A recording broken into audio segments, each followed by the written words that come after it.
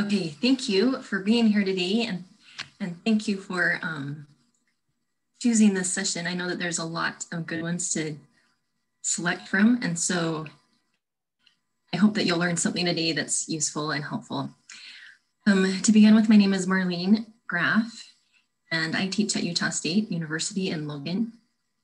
My um, area is nutrition, dietetics, and food sciences. So I'm actually a registered dietitian, but then I returned to education about 15 years ago, and that's where I've been ever since. So, um, one thing that might be obvious so far is that I'm a bit of a rebel. So when they sent out the the um, slides to use in this conference, I thought, well, I like green better than orange, so I changed them. So I hope that's okay. But let me start with a little quote that I think kind of captures my teaching philosophy in most cases. And that's that we're all teachers and we're all students. And so during this presentation, I, um, I really hope that you will be willing to share from your own experience and provide some additional insights because I'm not the expert. Uh, I I'm just here to share some ideas. And I think that all of us have things that we can contribute as we go. So let's start with an objective. Uh, basically, in a nutshell, my objective today is just to share some ideas that will spark ideas for you. And so I'll talk about some things that I've tried this year. Uh, some of them have worked better than others.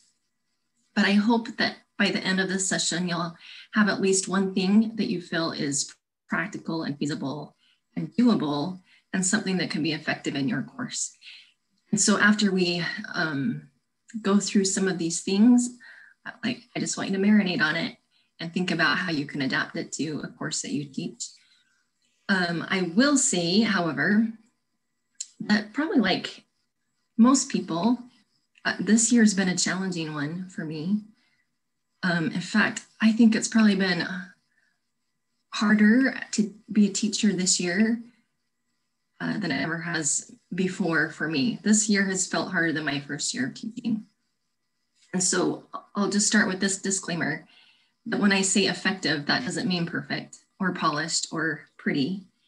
Um, in fact, it was kind of a, uh, yeah, day by day experiment on what was going to work.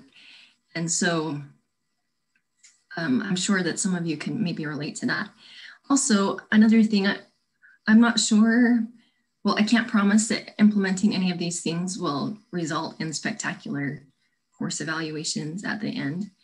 And I can't say that mine were fantastic as a, as a result of uh, implementing some of these things, but I felt like I stayed in the black at least. And um, so that's why I'm here today to, to contribute and uh, share what worked for me. The other thing to keep in mind is that what works for one person doesn't work for everyone, and what is good for one class isn't good for every class. And there's also more than one right way to do something. That was uh, some advice that my dad gave me when I was married. And I think that's the best advice he could have given me at that point. I was, uh, I got married later in life. And so by that time, both my husband and I were pretty set in our ways. And so it, it uh, required some adjustments uh, in those first few years on learning that, yeah, his way can work sometimes and my way can work sometimes. And sometimes we can create a new way that works even better. So I hope that uh, you'll be open to that as we as we move along today. So I'm going to try to um, kind of model how how I implemented some ideas in this course and then how I adapted them and changed them to fit another course. So this course is a general nutrition course. Uh, it's a it's one that's intended for all majors and fall semester, I had 400 students in that class, give or take. Um, we converted it to a fully online asynchronous format. prior to that, it was being taught as a blended course and it included an in-class and in-person element. And so I kind of felt like I was building a whole new course um, with this class last semester. So then also I teach this course in the spring and I'm comparing the two because they're both nutrition courses and they, they are both relatively large enrollment. This class is a little bit more focused um, and it's meant for students who are majoring in dietetics or nutrition science or another health related major. Uh, it has 82 students, so about a fourth of um, what's in my big class. And then the format for this class is web broadcast. So we meet weekly over Zoom in a synchronous setting and um, talk about the course. So last year, um, in fact, I was at this conference last year and I presented at this conference last year. And that happened just days before uh, our university and many other universities went fully online. And so, like, I'm feeling a little bit uh, maybe nostalgic today because I, like, uh, this conference is one of my last concrete memories of when things were quote unquote normal. But for this class last year, when uh, well, we made that quick conversion to a fully online setting, uh, it, it, felt really challenging. Part of that is because this class has a lab component to it. And I, I just didn't feel like uh, we did that lab very well fully online. And so that's why I made it web broadcast this semester. So let's talk about how um, I implemented four things in both of those classes. And by the way, you're welcome to stop me at any point or ask questions. I'll try to save some time at, at the end as well. But it's fine if you interrupt um, as we go. So the first thing I want to talk about is participation options and how that worked for me. Um, basically, that meant offering options to students on what assignments they selected, but also offering options on how they submitted or turned in uh, an assignment. So participation options are a way to encourage students to persist and to stay motivated and to um, continue to, to push on in a course. Then we'll talk about Kaltura video quizzes. So our learning management system is Canvas and Kaltura is kind of part of that. And so that's why I was using Kaltura rather than something else. But I use these as a way to help students navigate online and become familiar with our course and the content in our course. And then number three, we'll talk about Kahoot challenges. My guess is that most of you are familiar with Kahoot. It's kind of a, a quiz game that resides outside of our learning management system, but it's a fun way to assess understanding and progress. And then the fourth thing that we'll talk about is some pro tip videos. And these are videos from students in the course that I had reached out to and invited to share test taking tips and study strategies. And then I posted those in our learning management system for other students in our class to view. So that became a way to build an inclusive learning community and help students get to know each other. So let's start with participation options. Is there anyone who'd like to read this quote?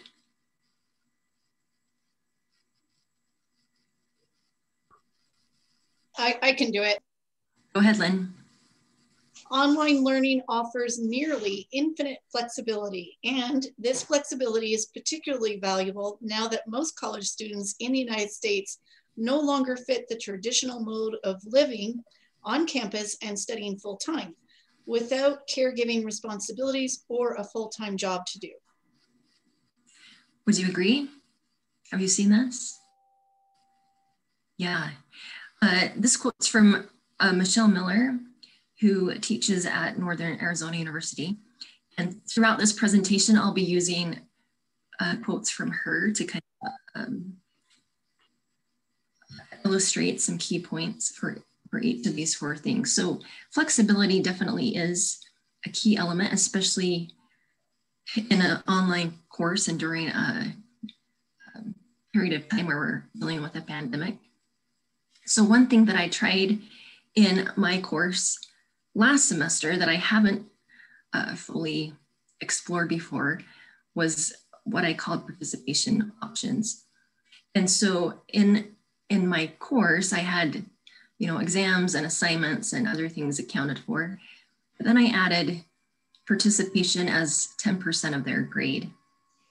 And my uh, reason for doing that is I wanted them to engage with our class and to um, get on Canvas often and to stay caught up and to interact with me and other students. And so what I did is that this is a snapshot from assignment page in Canvas. And they had a total score for participation points, but down here, they had a list of several options, things that they could kind of pick and choose. It was kind of buffet style. So each of those options was worth 10 points and they could choose any combination. And the goal was to, add, to reach 100 points by the end of the semester. And so, for example, uh, here were some week one activities to help them become familiar with the course. And they were, you know, pretty low stakes, uh, doable assignments. But if they missed one of these things, they could still make it up by doing other things. Another reason why I added this list is because there, I wanted students to be able to identify um, tools that worked for them well and, and things that didn't and uh, kind of put them in the driver's seat. So one of the things that I had on there were digital escape rooms. And I actually presented on that last year. But basically, it's just um, kind of a, a quiz uh, outside of the learning management system using Google Forms. And so for a lot of students, they liked that, but not every student loved digital escape rooms. And so if they didn't want to do a digital escape room, they could choose another option for learning content. Um, so that worked pretty well because uh, once again, I had a lot of students and they represented a variety of different uh, disciplines and also learning preferences. And so I think having some options help them. There, there were some drawbacks to this also, and we'll talk about that more. But here's another example of an assignment in this course where uh, they, they had some options to choose from. And so, for example, on, on this page, they had four options to choose that would fulfill the requirements for this assignment. And they just had to pick one. Also, they could have some say in what they read or watched or listened to to kind of become familiar with the content. And then when they actually submitted it on Canvas, they got to choose whether or not they wanted to type a written response or to do a, a video recording talking about them, how they've done that assignment and what they had learned. So why do we offer options? Well, first of all, let's talk about maybe some pros and cons to providing more than one participation option or more than one way to engage and um, turn in assignments. Any thoughts?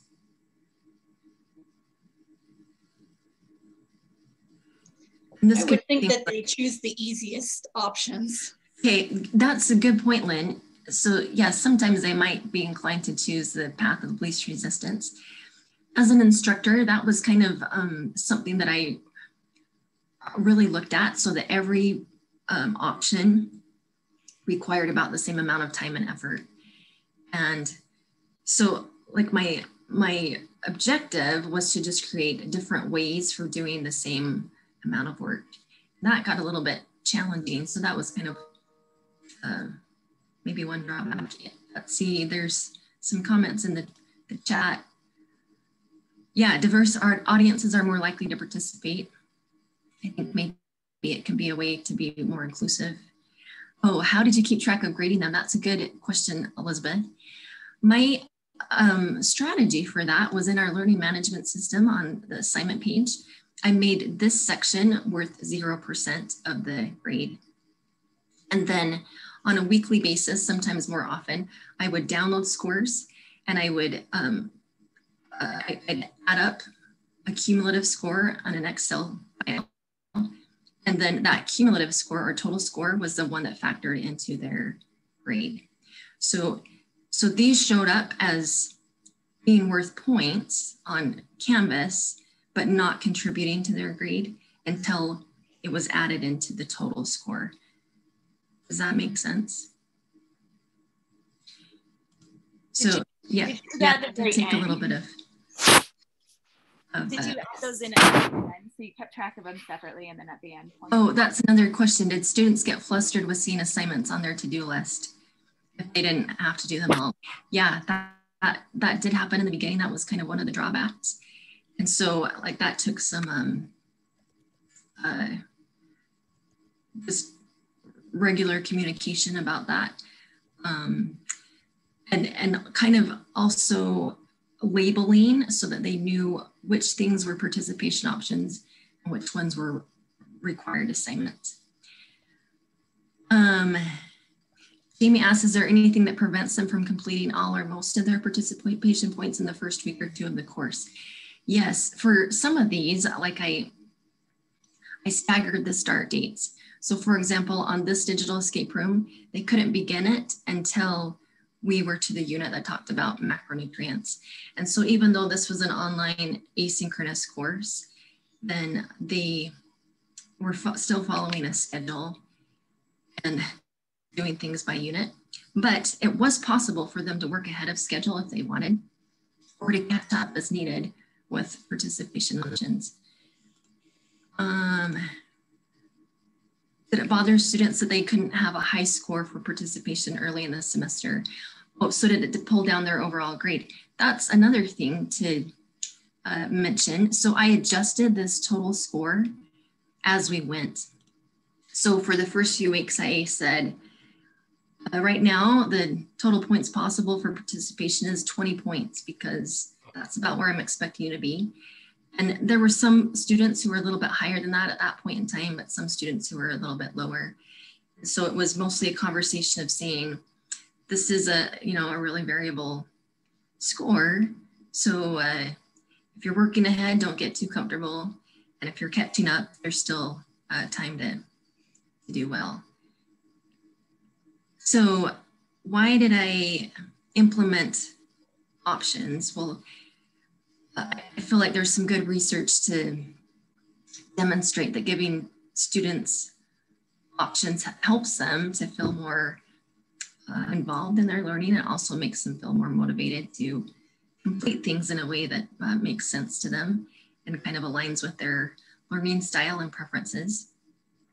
I thought this um, was interesting. In a 2010 study, uh, they said that when students received a choice of home, homework, they reported higher intrinsic motivation to do homework. They felt more confident regarding the homework and they performed better on the unit test compared to students who didn't have a choice.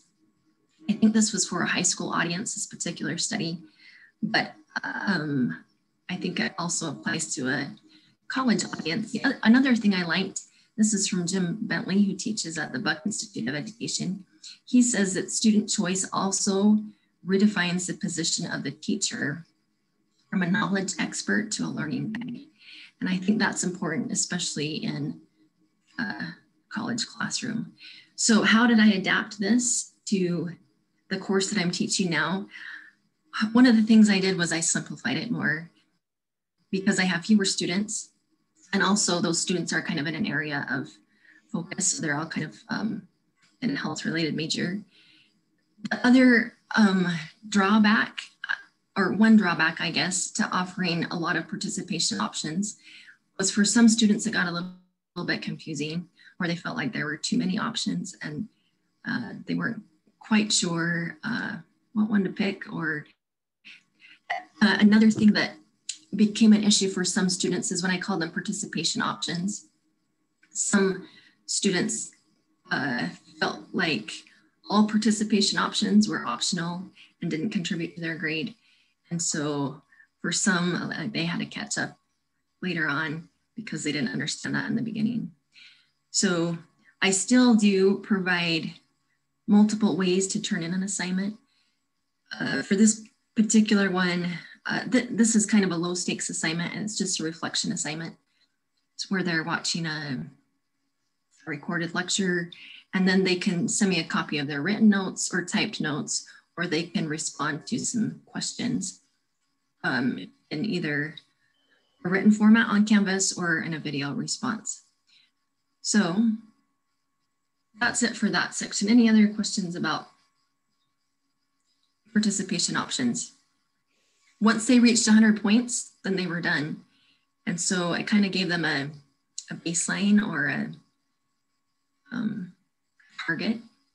And then they uh, had enough time to kind of see what worked for them and what didn't. Even once they reached 100 points, um, there were some students who continued to do participation options, especially if they realized at that point that they were, it was helping them on exams and assignments and other things. So let's do Kaltura video quizzes as a way to help students navigate online. Uh, anyone want to read this quote?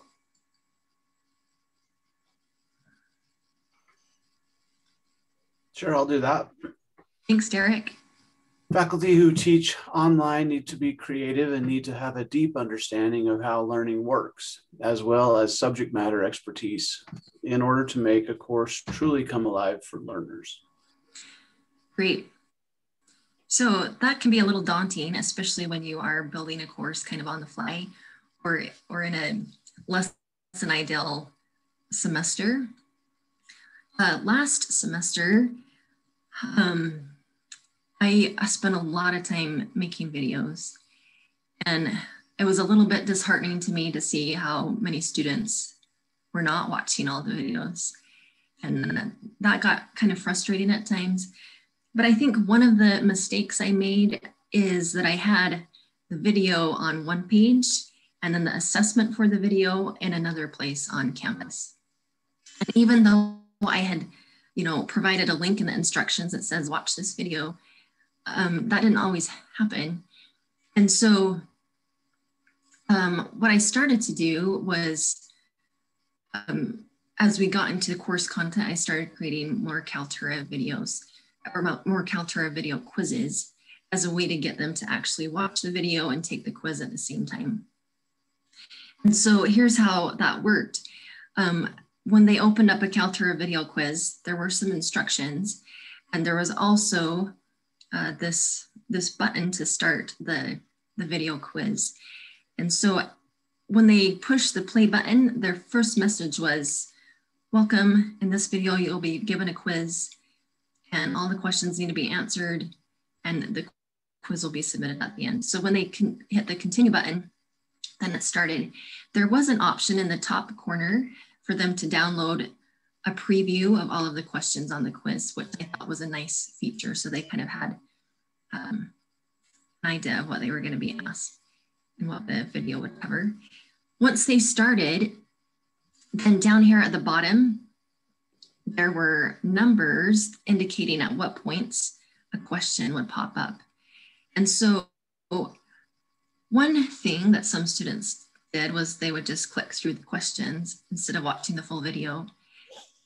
And maybe that, that was okay because if they could do well on the questions without uh, listening to the full video, then maybe that's all right. And I think a lot of them discovered that the questions were challenging enough that they needed to watch the video to be able to answer them. When they got to a question, they had the option to skip it or to go back and to uh, kind of rewind and listen to um, an earlier part of the lecture. And then once they selected an option, then they had another chance to either change their answer or select that one. And then uh, when, when they finished all the questions, then there was an option to review the questions and change them if needed or to submit it. And for Kaltura quizzes, they got one chance uh, to take the quiz. They had that review option, but after that, they couldn't uh, take the quiz again. And so once it was submitted, they could see the answers that they got wrong and see why, or at least what the correct answer was. And then um, the score went to their Canvas gradebook.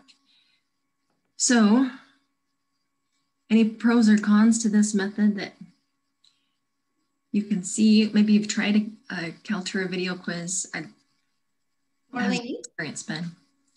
are, ahead, are you able to um, use the find questions for a Kaltura quiz? So if you have a question banks built in Canvas, it'll draw from those question banks? There might be a way to do that, but when I built this, uh, it wasn't, um, well, I, I didn't see that option. And so that was one uh, challenge for me was that I felt like I was kind of limited to only 10 questions in this case, rather than having a bank that could randomly draw. And so, yeah, that was kind of a drawback. Yeah, and somebody in the chat said, no, you can't do that. Okay, that's good to know. It wasn't just me that was not finding that. Um, any pros to this method, do you think? I think students will find it more interactive. Yeah, the percentage of students who were at least engaging with the video uh, went up. I don't know that that uh, they all watched the full video, but they at least saw that it was there and it wasn't just hidden on another page. So that was nice. Uh, let me just quickly show you how I adapted that uh, this semester in the course I'm teaching now. I do still do videos, um, but I use a, um, I use a program called Loom, which is kind of like Screencast-O-Matic. And so I just let those videos reside outside of our learning management system. It's possible to um, upload them to Canvas and have them right there and, and embed them like I did uh, last semester. But that process was also pretty time consuming and it required me to be on campus to have a strong enough connection so that it was uh, quick enough. So with Loom, they can go to this website and there's all these emojis at the bottom where they can interact with the presentation as they watch it. It also keeps track of how many students have watched it. And sometimes they there's anonymous viewers. Sometimes they add their name and so they can see what other students in the course have found interesting. Um, plus there's a video link that it will show and this is the link that I add to Canvas. And to me, it kind of makes things a little more clean and condensed. Um, although in some cases, students are maybe less likely to watch a video if they just see a link instead of a little picture. Uh, the other thing is what I've built kind of um, regular quizzes again within Canvas, but I've, I've added links to the videos within that quiz. So this allows me to still use my question banks and provide more than one uh, attempt on quizzes and then questions change with each attempt.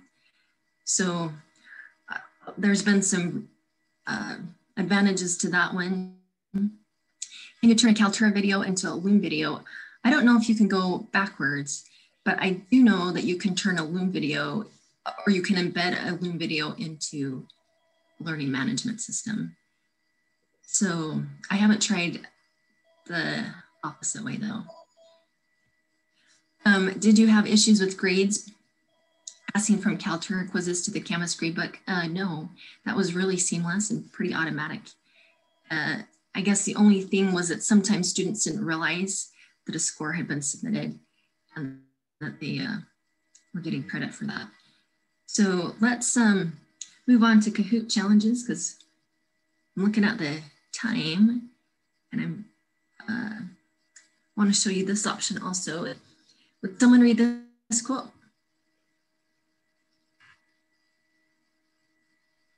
I can do that. Thanks, Marie. Students are reeling from the disruption to their educational and personal lives, and so faculty find themselves needing to provide more support and more flexibility than they ever have before. Right. So sometimes that felt pretty heavy.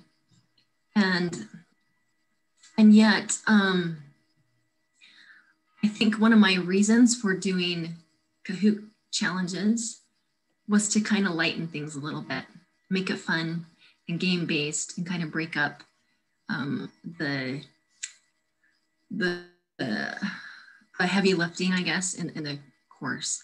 So for Kahoot challenges, I, I created them on the Kahoot website. I just used the free version And then once I created a, a challenge, then I would link it in uh, Canvas and I'd add the pin number. So the cool thing about Kahoot challenges is that they can be done asynchronously. And you can leave them open for a window of time and then students can go in as um, as their schedule allows and then it keeps track of you know the winners. And so once the challenge ends and it, it shows you the podium with the with the students who were at the top. Also from uh, the instructor view in kahoot you can go in and see reports from the challenges and see how many players participated, what the average score was, who the the, um, the high score students were. Anyway, it's kind of a fun way to break things up.